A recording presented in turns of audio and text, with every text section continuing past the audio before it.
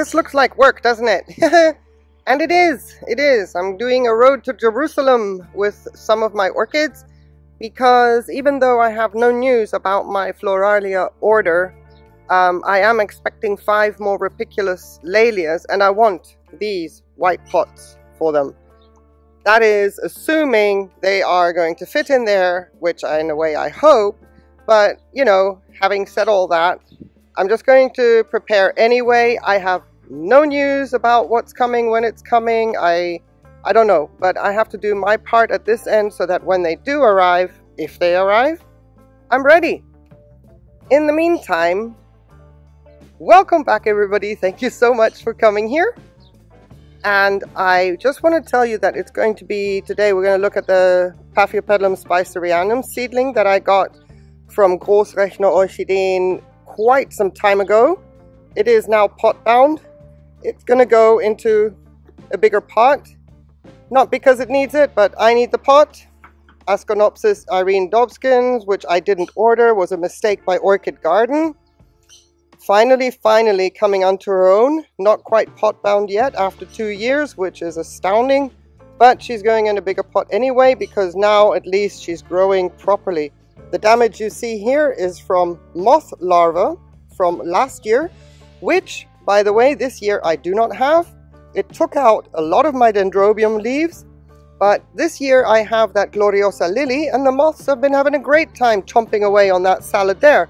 So I enjoyed the blooms, now there's foliage, and now the moth larvae are having a great time there and they're staying off my orchids, so win-win for nature and for me. This is the rattlesnake orchid, but the Oeceoclades spathulifera. This one, I need the pot.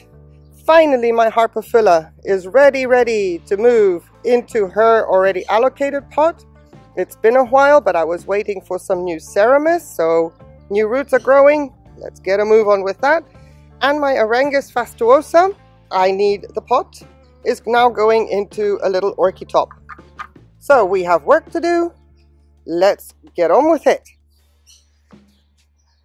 I just wanted to show you that it is blazing hot in the sun. Okay, I don't put my Seramis into the blazing hot sun because if it's wet, I'll use it. When it dries, it dries. Big deal.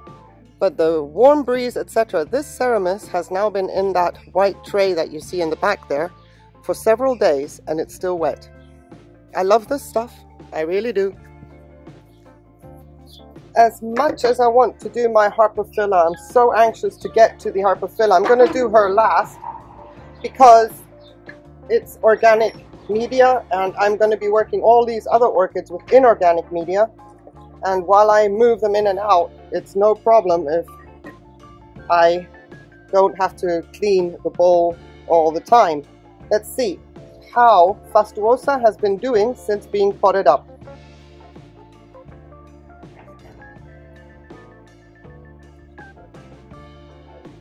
I mean, I can see that she's grown this leaf.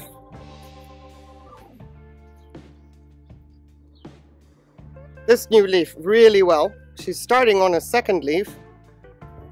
So she's doing fabulous from what I can tell from the top. But let us see what the roots are doing inside. And I'm going to just stick with the Seramis. I'm not putting anything else in. I want the wicking process from the bottom all the way up.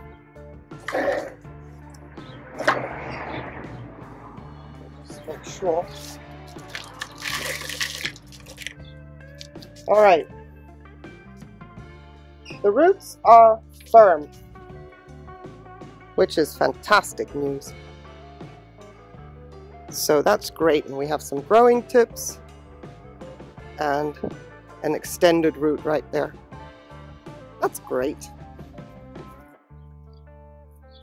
So there's not much to this, I hope. Famous last words, right?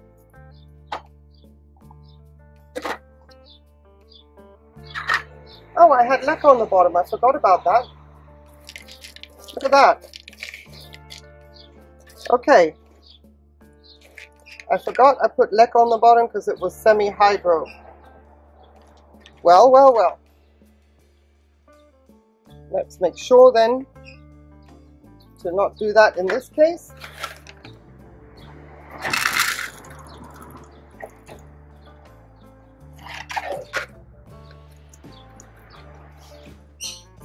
Here's me saying about the inorganic media, I'm just going to reuse it, and I completely forgot I put leca on the bottom. So I shall be putting this into a plant pot.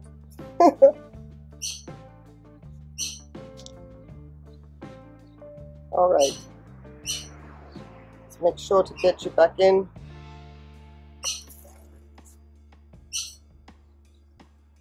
The way you were.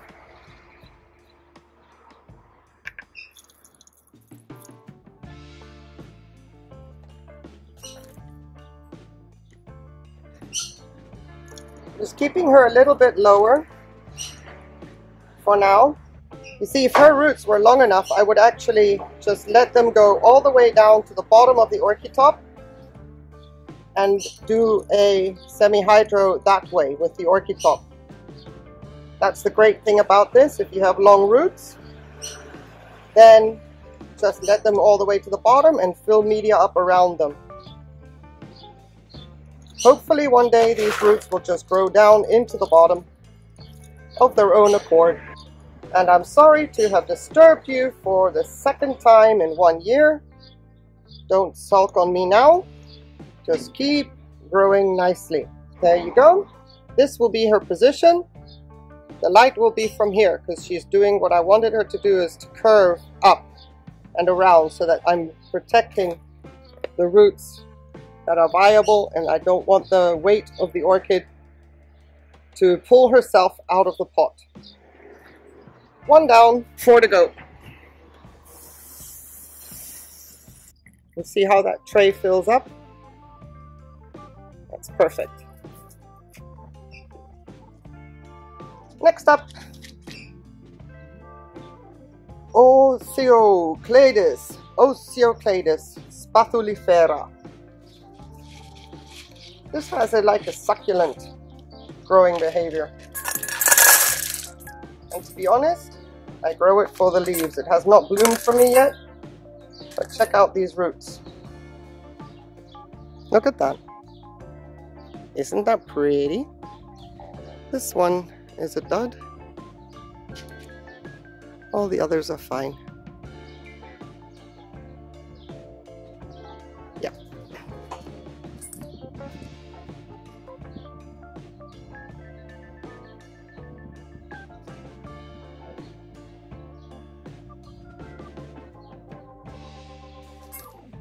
So the same kind of features. Big, fleshy. And they remind me of Paphiopedilum roots. So I'll just leave those on as I'm not 100% sure if they are dead. But I can take this little thing in the back off. These are dead. They are very, look at that. All right, there we go learned something new. I've never assessed the health of the orchid from below because I could see it was fine from above. No signs of stress, no signs of shriveling, and it gives me one growth per year. So we'll see when this one blooms.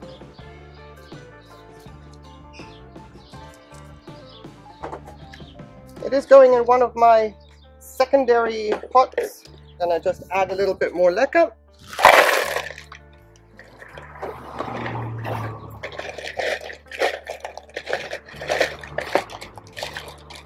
Just fiddling with the leca a bit to get it underneath the loop.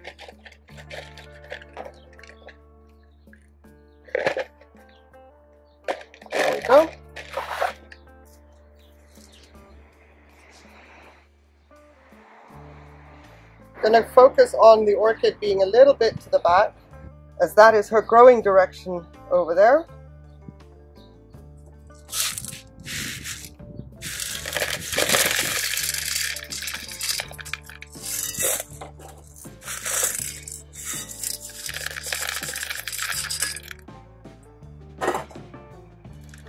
And the same leca goes back in And I need some more. I'm glad to see the roots are doing really well in this setup. Nothing like a little bit of visual confirmation from what you're seeing above. And I think I'm going to need a microfiber across the top until the external roots find their way down. You see I have here two roots coming out of the new growth, but they're quite up in the surface. There's no point trying to fill leca around that. So, so I'm just going to encourage them to stay where they should go by covering them up. There we go.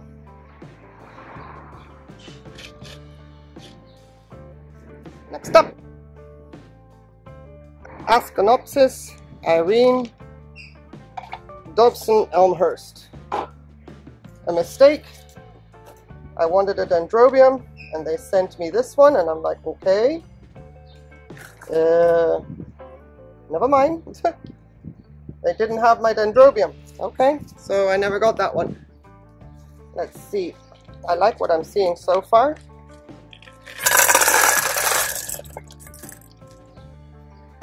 Look, we have active root growth.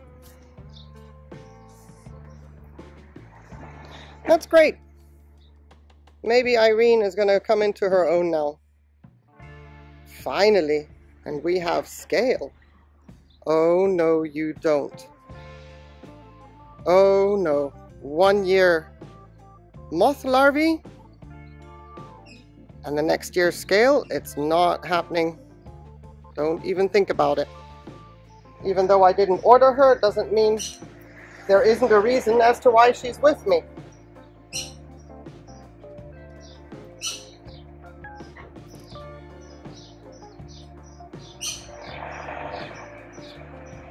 I'll just take off the little old roots while we're at it and get her into a nice, clean, shiny pot.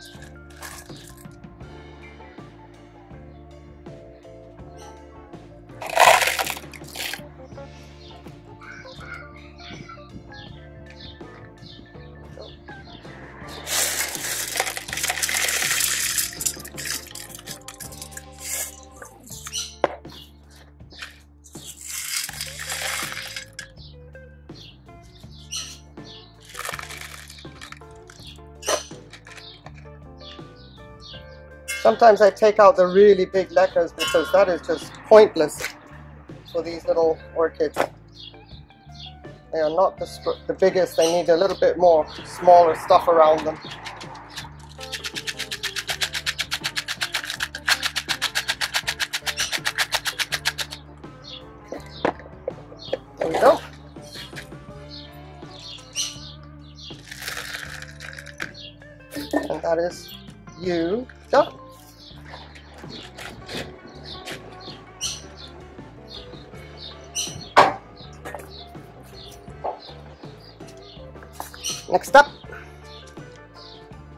Spicerianum.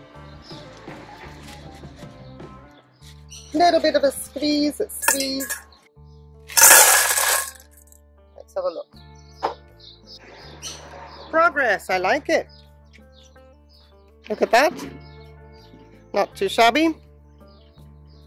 You see this one was split here, so it died off. But I have nice little growing tips and look, it went all the way down to the bottom of the pot. Look at how those roots have gone and circled the bottom. That's neat. I like that. Take it back to the green and let's see how you get to be positioned in there.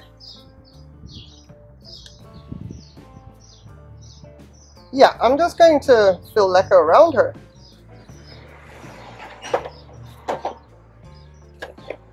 Yep, yep, yep. I'm not going to bend those roots. See if I were to fill the pot, I would be bending the roots. I'm not going to do that. I'm going to place her down there. They're used to a very wet environment, so we will keep it that way. No loopy-doop.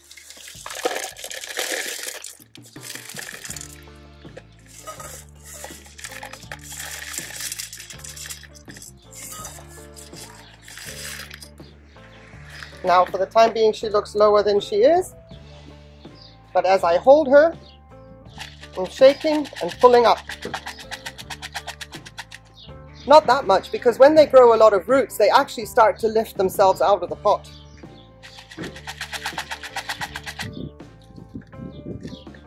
So we can watch and observe if that happens with Spicerianum.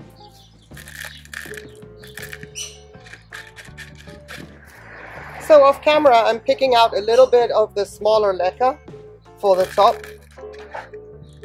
Simply because the bulky ones would make it a bit too airy.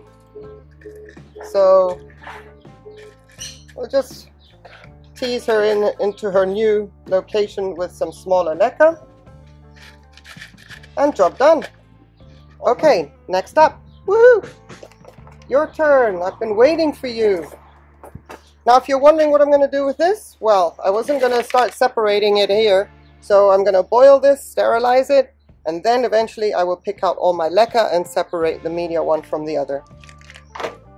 Harpophylla, it is about time. Why did I bring four? Oh, yes. My Leptotes bicolor is still in uh, one of these that I want for my for my Rupicolous laelias. But I'm not to repot her into this. It's too big. Even though it will be inorganic media, it just looks ridiculous. She is such a small plant. I think I'm to mount my Leptotes. She was mounted. I wasn't happy with the progress. She was a very weak plant when I got her. So, yeah, that's what this one is missing because Harpophylla is going into the Rupicolous setup.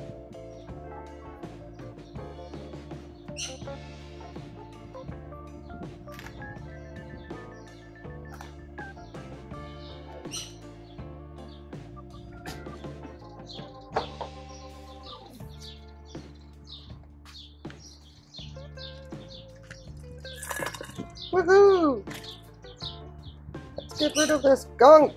You, you, you. Don't like. So she had some sphagnum moss for water retention. But I'm getting these new roots. These are all dead. No, they're not. Look at this. So there was sphagnum moss in there. So this one's fine, nice and firm up to there. So she did have something in the pot. This one isn't. This one's firm up to a certain point. Okay, let's take care of this. Big day for Harpophylla. I've been waiting, waiting, waiting. She is such a weak plant when I got her. She still is a weak plant, but she's throwing out a nice new growth. And that is important with those new roots. All right, we don't have to go mad. It's going in a straight inorganic setup.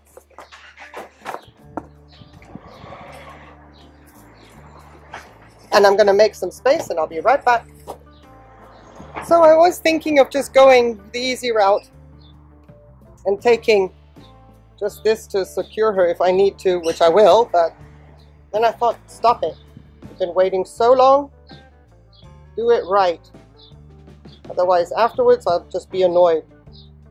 My plan is obviously not to have to use it long term, but it's there. It's there if I need it.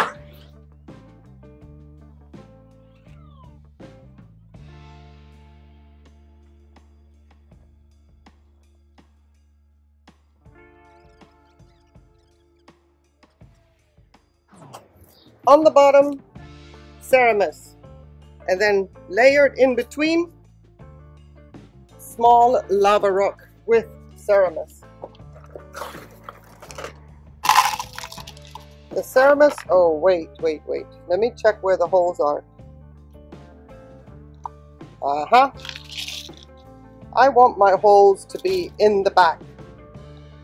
And that is where my support is going that was where my label is going. And that is because I always want to know if I carry these pots around or lift them off the shelf, how to angle them so that I don't spill water when they're coming off the shelf. That's why I do this as my reminder and marker. And sometimes based on the media I use, I put in the label straight away so that I'm not jiggling the orchid around while I'm trying to figure that out as well.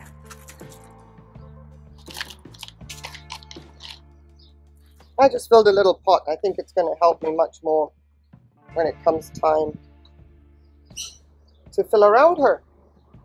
Come on, you. I am certain you will be much happier here. I hope I'm correct in my assumption. Get her positioned so that I don't have to jiggle around too much. And a bit lower in the pot, that's okay. I'll pull her up shortly. Yeah, I'm happy with that.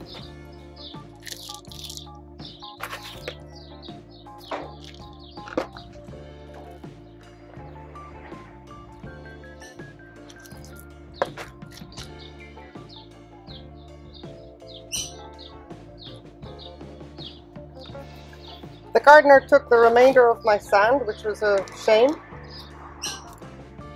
I don't know why he would do that. So I'm going to give a little bit more Seramis instead of filling up with sand, which I would much prefer. When the other Rupicolous Laelias come, I'll buy some more sand. Right now, I'm not going to fuss around. So I'm just patting the pot and pulling my Laelia up very, very carefully. Now I want to tie her before I put the rest on because I have root tips right at the top and I don't want to be jiggling them on the surface of any kind of rough media. There we go.